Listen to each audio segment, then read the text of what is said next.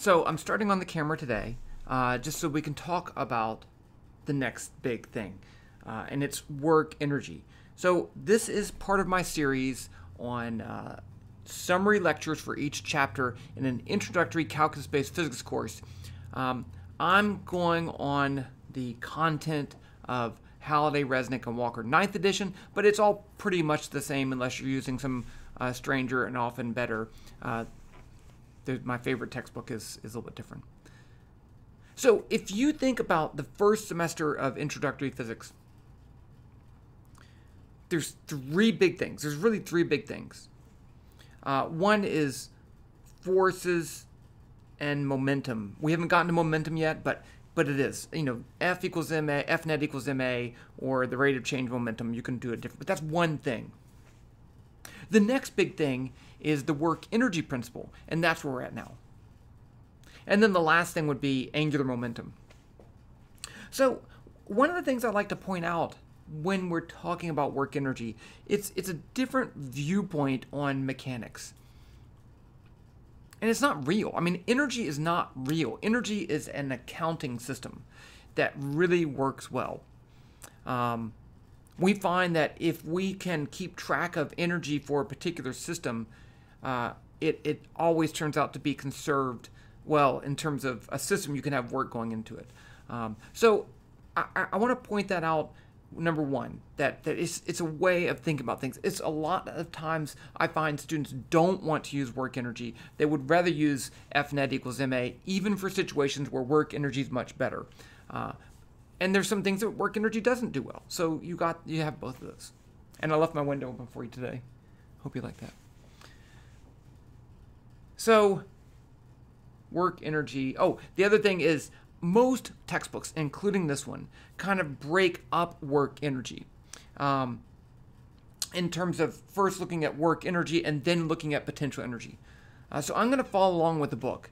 Uh, I'm going to talk about a couple things that the book doesn't talk about, uh, but I'm just going to do that. And, and again, my whole playlist is down below uh, in the, the in the description, and I'm not really going to work examples. If you want examples, you can just ask, and I, I, I, can either I have one already. You can search in the in the search thing up there or wherever it is. Um, but I'm just trying to get the summary, just just the, the main idea. Okay, so let's jump into it. I'm going to switch over to the paper, and we can start talking about chapter seven, kinetic energy, and work.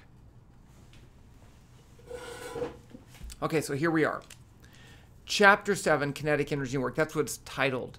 Um, so let's start off. I already talked about energy. Let's talk about kinetic energy. So if I have a ball and that ball is moving with some velocity v and it has a mass m, well, we can associate an energy with its motion and we call that kinetic energy. And a lot of times people write it as Ke. Sometimes they write it as K. Uh, in classical mechanics, we write that as T. Um, but it's all the same. It's, we can calculate that as 1 half m v squared. So if you have the mass in joules, so if I have one joule times meters squared per second, I said joules. That's not true. if you have kilograms and then meters squared per second squared, that's equal to the unit of one, one joule. So a joule is a unit of energy that we'll see. That's a J. One of the things also you need to know about this kinetic energy is that velocity is a vector. So you might want to write this as k as 1 half m magnitude of v squared. One of the things that we're going to really see is work and energy are both scalar values. They do not have a direction. You do not have a direction with the kinetic energy. It's just a value. It doesn't tell you which way you're moving, just a property based on both the mass and the speed. Okay, what about work? Now, the book defines work as it, work, you can think of work as a way to add energy to a system. And it didn't really define systems too well, so I'll talk about systems too. Well, let's do that. So suppose I have some imaginary grouping of stuff. Like that. Stuff. Who knows what it is? And I have some energy input into the system, well, then the energy of this whole thing is going to change. So one of the ways we can calculate the energy input is with work. So the book defines it as this. I'm looking at what it does this. Work done by a force, one single force, is F dot D. Okay, where F is the vector force, D is the displacement, and that's the dot product. We went back, we went over that in chapter two when we talked about vectors. No, chapter three. There was we talked about the dot product. I'm going to review it just just in, in, a second, just to remind you. Um, I don't like that because uh, this is a displacement, right? So if I have, uh, let's say I have this. Here's my x-axis. Here's my y-axis. I start here and I end there. So I could call this R1. I could call this R2. And then I could call this vector delta R. So delta R is R2 minus R1. And that's, I think that's just a better, more mature, more grown-up way of writing the displacement um, because it incorporates all these things. Calling it D is, is I don't think, very, very useful. So I'm going to write work is F dot delta R.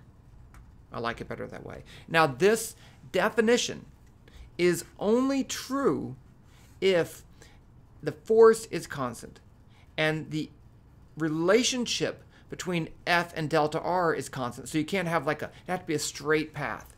It can't be uh, some swirly path, which, which I'll talk about, but it's more difficult to calculate. Okay, so let's review the dot product because that's what this is. So if I suppose I write the force as a vector, I'm going to use the notation the book uses, fx in the x direction plus fy in the y direction plus fz in the z direction. And then delta r um, is going to be equal to, I don't want to write delta a whole bunch of times. Let's write this as, I'll call it s. sx x hat plus sy y hat plus sz z hat. So these are these could just be numbers. Number, number, number, number, number, number. It could be. Okay. So if I want to take the dot product here, I could the way to take a dot product f dot delta r, you take the x components and multiply them to, and, and multiply them together, and then the y components multiply together, and the z components multiply together, and then you add them all up. So it's going to be fx sx plus fy sy plus fz sz.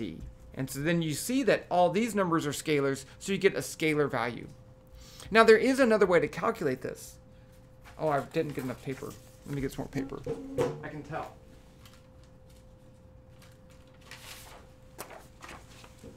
This one's going to be a, a four sheet lecture at least. so suppose I have this. So that's my delta R. And then this is my force. I'll put it over here, F.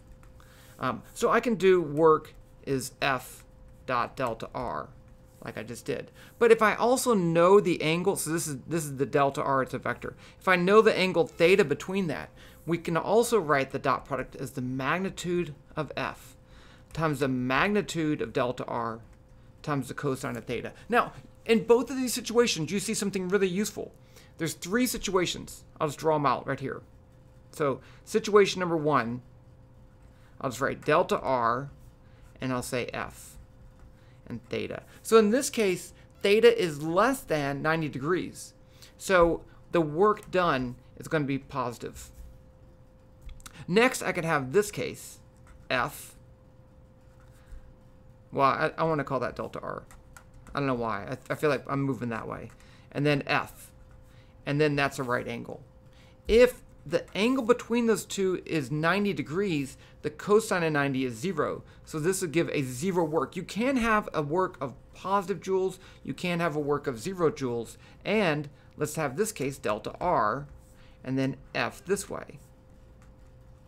And then here's my angle. If theta is greater than 90 degrees, uh, but less than 270, so anywhere from, from here to here, and the force is backwards pushing, you're actually going to get a cosine value is going to give you negative numbers. So work would be negative uh, thing. And that is possible too. And that means that the force decreases the energy of the system. This force doesn't do anything to the energy of the system. And this adds energy to the system. Does that sound good? Okay. Next topic. Uh, they have a thing about work done by gravity. I don't think it's super useful, but that's fine. We'll do it anyway. So suppose I have this, and then I have uh, a ball going from, let's say, y1, so it's falling, to y2. And I want to calculate the work done by gravity. Well, the first thing I want to do is calculate delta R. So delta R is going to be the final position minus initial position. So it's going to be 0 x hat, and then this is going to be plus y2 minus y1, right, because it's final minus initial, y hat, plus 0 z hat.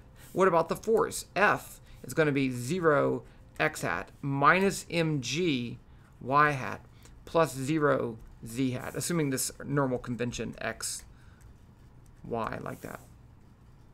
So now if I calculate the work, it's just going to be F dot delta R, and that's going to be 0 times 0, 0. This times this is going to be negative mg times y2 minus y1 plus 0. That one's 0 times 0. Now, is this going to be a positive or negative number? Well, if it's going down, then y2 is less than y1. So this is going to give me a negative number, and then I have a negative sign over here. So if I'm going down, work is positive.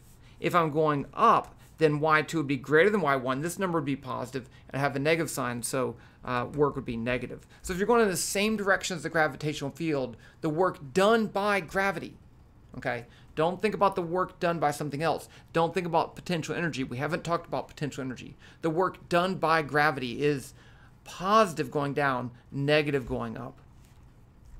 What if I do something like this? Here's a fun one. I go right here to right there. So this has uh, x1, y1. Let's just do it in two dimensions. It's a comma. To x2, y2. Well, in this case, now I'm going to have a different delta r. So now I'm going to have delta r is going to be the final position, uh, x2 minus x1 x hat, and then plus y2 minus y1 y hat plus 0 z hat. If I take this and dot it with this, f dot delta r, notice that this is multiplied by 0. So it's just going to be 0. And then I'm, i do this again, I get minus mg y2 minus y1 and then plus 0. So I actually get the same thing. And, and that's one of the things you'll notice is that horizontal motion doesn't do anything. If I'm only moving in the x direction, because the component of force in the x direction is 0 for gravity, then I'd get 0 work. Okay, so in this case, only the vertical stuff matters. And we'll see that's really important later when we get to potential energy. Okay, next, springs.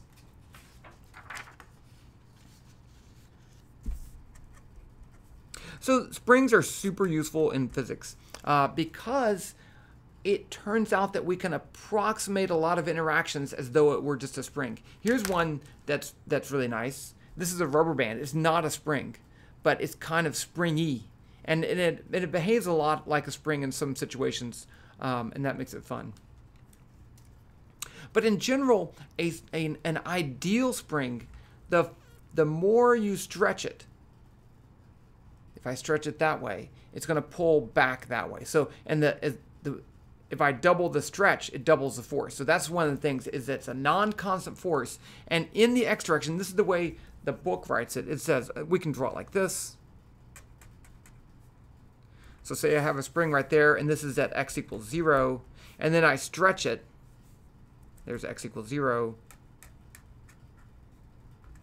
x equals 0, and this is x.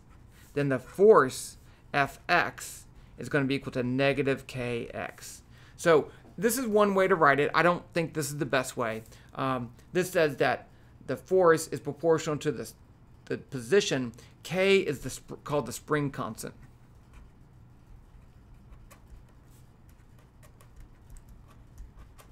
It's basically how stiff the spring is, and it has units of newtons per meter. So a stiffer spring, if you stretch it the same amount as a weaker spring, will have a greater force. Now, I like to use, there's two ways I like to write this. I prefer to write this as just F equals ks and not put the negative sign because this is the magnitude and that's the magnitude. And so you have to know the direction, right? If you want to, this is not wrong. I just don't like it that way.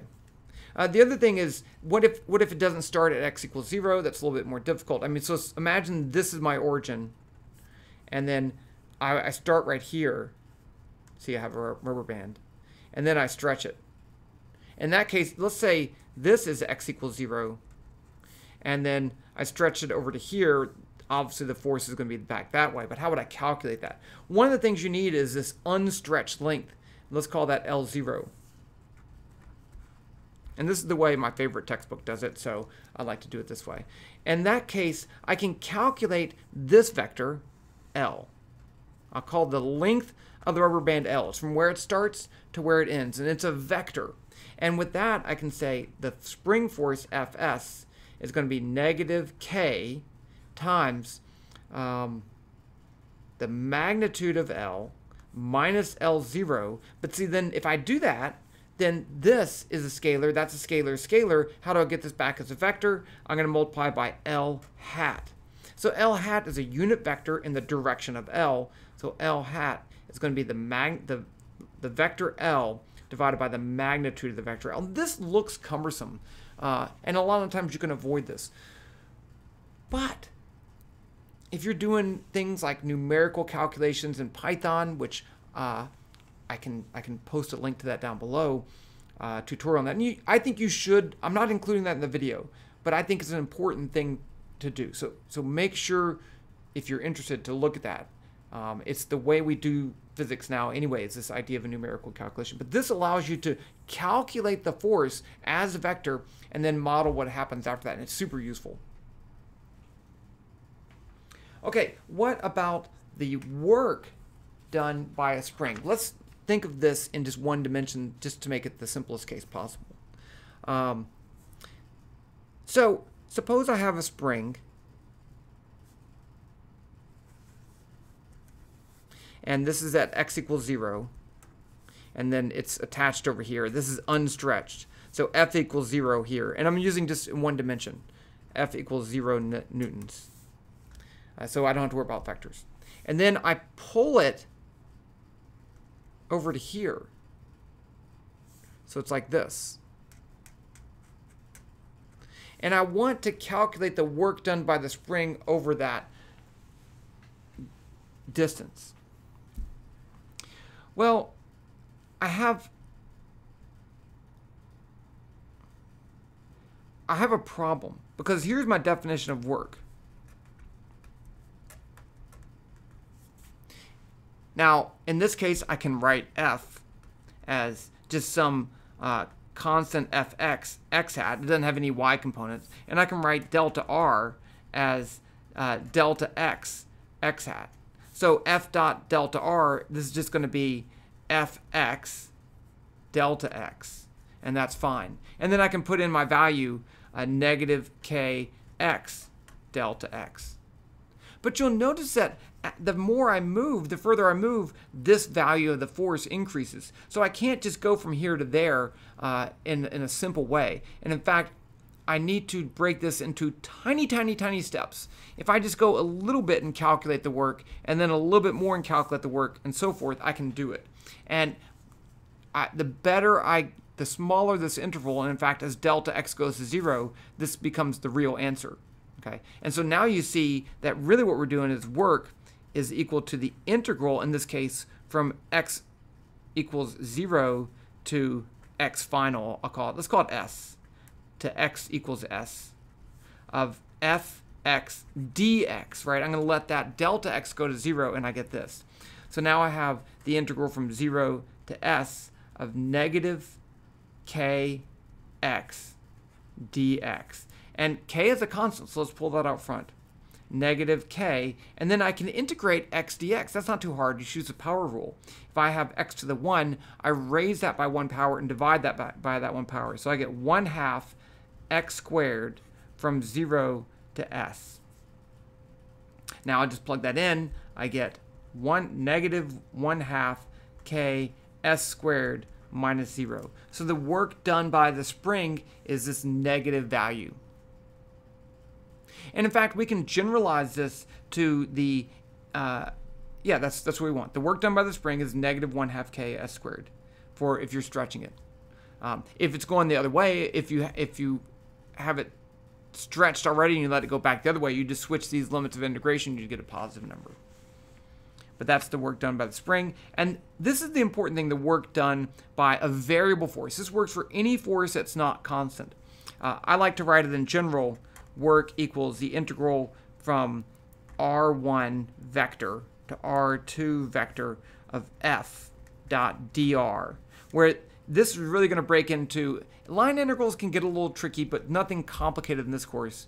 Uh, this can break into the integral from x1 to x2 fx dx plus the integral from xy1 to y2 fy dy plus the integral from z1 to z2 fz dz.